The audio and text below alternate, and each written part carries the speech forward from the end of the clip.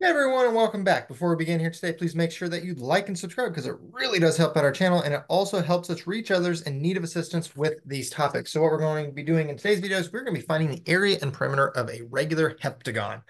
So a heptagon is just a seven-sided shape. A regular heptagon means that all seven sides of that shape are equal. So since it says that we have three inches on this side, that means that this is three inches over here three inches, three inches, and you probably guessed it, three inches, three inches, and then lastly, three more inches. So everything's exactly the same. All seven sides are equal. So the area equation, which would be how much area we have in shaded in green inside of the shape, is a little complex for a regular heptagon, but don't worry, I will make it easier for you. So the total area equation for a heptagon would be this, and don't freak out because I'm about to make it so much easier it'd be 7 divided by 4 multiplied by the cotangent of 180 degrees divided by 7 and then multiplied by s squared.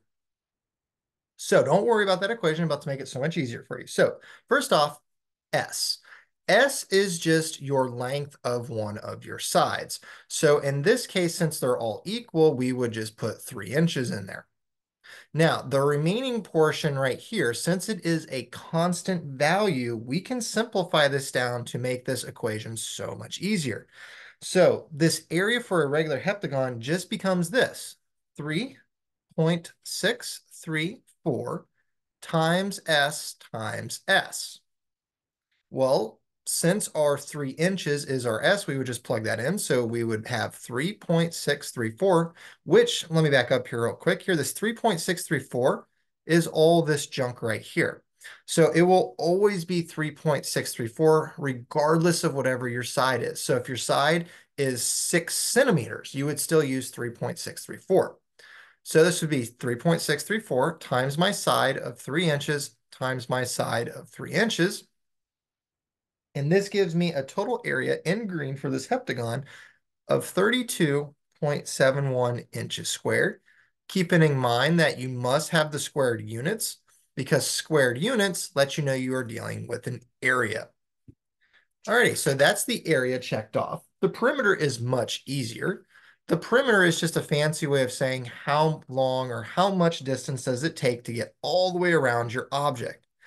Well, you basically just add up all your sides. Well, since we have seven sides here, you would just add three inches seven times to get the total length of the perimeter. And there is also another easier way to do this, and I'm going to show you after I write out the long way here.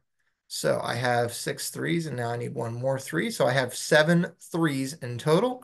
So seven threes all added together gives me 21 inches in length for my perimeter. Or you could write it like this for your perimeter. Since all the sides are exactly three inches and we have seven of them, we can just take seven times my side of three inches, seven for how many sides we have, three inches for them all being the same, and we end up with 21 inches here.